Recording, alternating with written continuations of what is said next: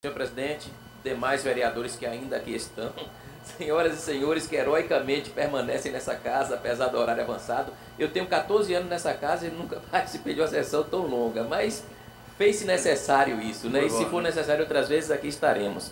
Senhores, hoje nós aprovamos projetos de grande relevância, como o COMPREC, que é a Coordenadoria Municipal de Proteção e Defesa Civil, de grande relevância. E eu quero repetir o que eu já disse. Digo aos secretários responsáveis e ao prefeito, principalmente ao prefeito, resolva a situação da rua Miguel Vieira Ferreira e Braulio Novaes, que qualquer chuva mais forte está inundando as casas. Isso é um absurdo. Ali não é apenas água de chuva, é o esgoto. Então tem que ser feito com urgência a desobstrução do canal que dá vazão às águas de chuva. Como será feito, eu não sei, eu não sou engenheiro, mas existem recursos para isso e tem que ser resolvido. O povo já não está suportando mais, está terrível aquilo ali. Hoje aprovamos também uma emenda à lei orçamentária que direciona 180 mil reais para os nossos atletas, a chamada Bolsa Atleta. Bolsa Atleta é essa que teve início em 2009, no meu primeiro ano de mandato, junto com o vereador Elton Amado, o vereador Sabino.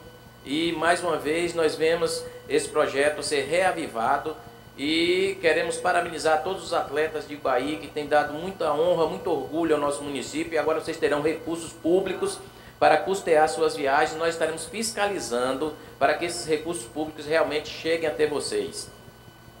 Fizemos também aqui a aprovação do Plano Municipal de Turismo de grande relevância, já foi dito aqui, os pioneiros disso aí, é, Rubeval, não é isso? Nelo Ferrari. Falamos da importância, mas é de fundamental importância que o poder público é, prepare os nossos empresários na área, direcione um treinamento necessário para os nossos empresários para que eles possam lidar com esse turismo em Bahia que está crescendo a cada dia. Mas não apenas os empresários, mas a população de modo geral.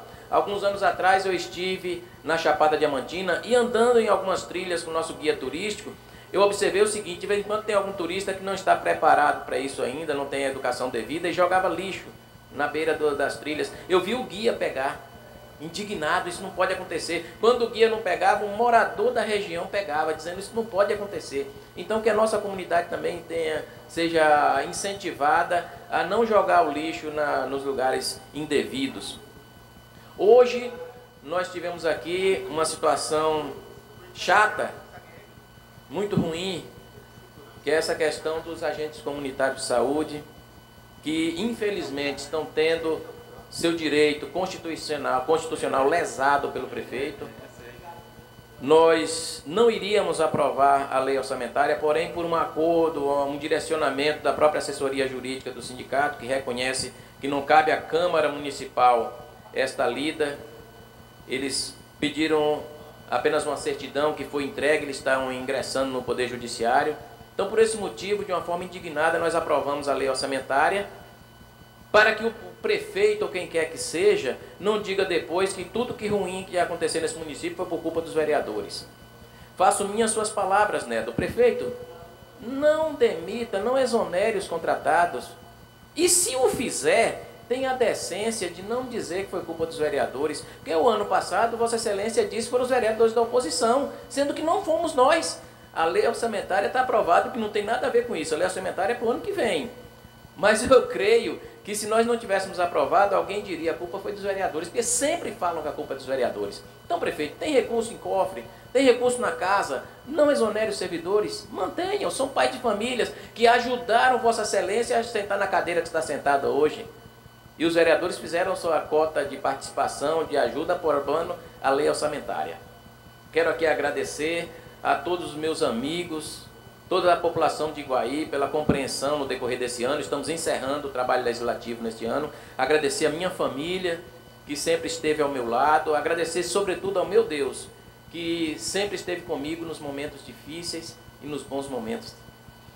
Quero aqui parabenizar cada um dos senhores vereadores servidores desta casa pelo seu empenho, doutor Felipe, que grata satisfação tê-lo conhecido melhor, doutor Felipe. Prazer trabalhar ao lado de um advogado tão competente quanto Vossa Excelência, é uma honra. E quero, de vez em quando, sugar um pouco do seu conhecimento jurídico. e eu quero aqui parabenizar cada um dos vereadores pelo empenho, pela dedicação, vereadores de oposição e de situação, que cada um da sua forma tem feito o melhor pela nossa população. Mas eu gostaria de destacar um vereador de forma pessoal. Eu quero destacar aqui o vereador Rádio Velho. Pessoa humana, de um bom coração, que há muitos anos, Rádio, eu vejo o seu trabalho, eu vejo como você ajuda as pessoas. Você nem pensava em ser vereador ainda e já fazia um trabalho é, social invejável em Iguaí foi eleito vereador e amplificou ainda mais esse trabalho. Parabéns, rádio. E dizer que no momento que eu, Luiz Cunha, precisei de você, você abriu as portas e falou: vereador, estou contigo. Obrigado, meu rádio.